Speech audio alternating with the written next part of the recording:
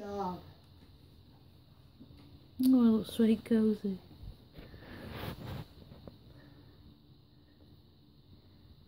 Why is little eyes are closed? You don't put your feet on his head, will you, by accident? No. He's dead since the best one. I use my toolbox right